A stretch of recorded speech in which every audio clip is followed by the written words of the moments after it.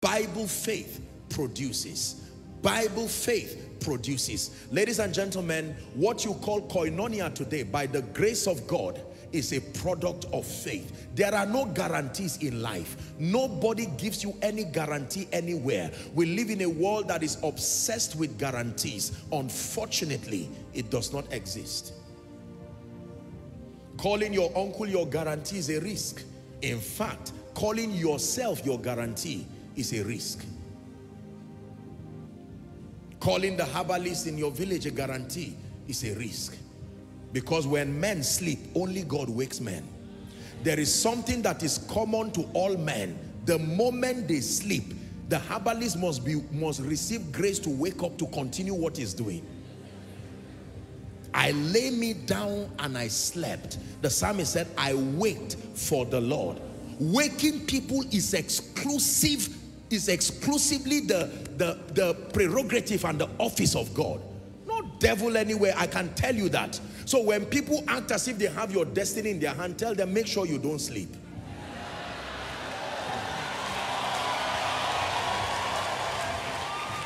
Yes, sir. Yes, sir. By tomorrow, if you are still there, call me another name. Hey, be careful. Be careful because the sun is going down. Be careful. Hmm. Very arrogant world that forgets that there is a God that rules over the affairs of men. Have you forgotten Nebuchadnezzar?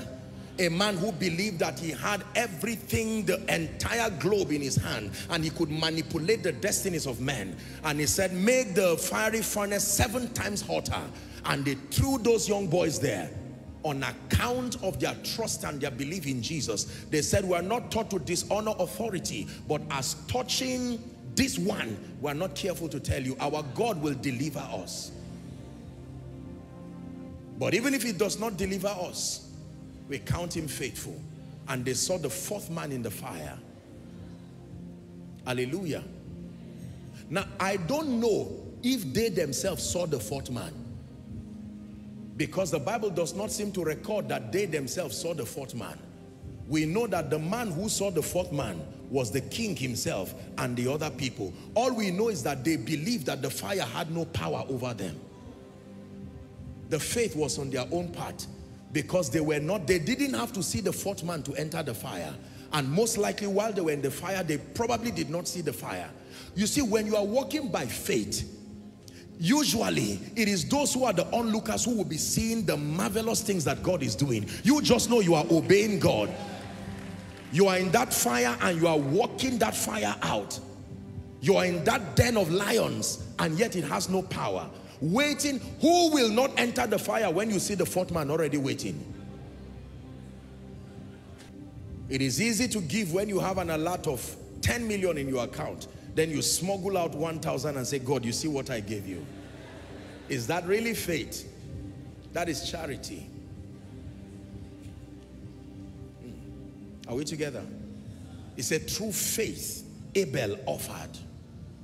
How about Abraham? I will make you a father of many nations. No evidence, no Isaac, and the Bible tells us, as in the order of men and women, he had become very old. And Sarah, even, even when she had gone past as in the manner of women, the Bible says, and yet they counted God faithful. You find that in Romans chapter 4, that he wavered not. I like Abraham.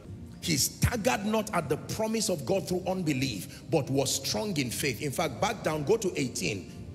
18, it says, who against hope? Did you see that? The foundation of faith is that there is hopelessness already. Hopelessness. Against hope. Believed in hope. That he might become the father. Imagine if you saw Abraham.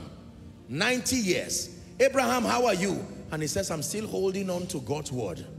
And you say, Abraham, you are still at this madness called Christianity. I know he spoke to me. It's not a lie.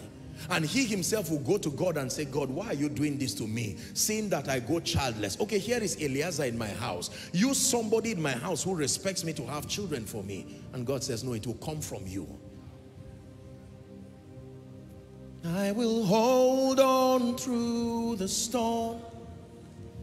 And I will hold on to your word. My life will soon reveal you're the lifter of men, the lifter of men. Yes, I will hold on through the storm. I will hold on through. My life will soon reveal you're the lifter of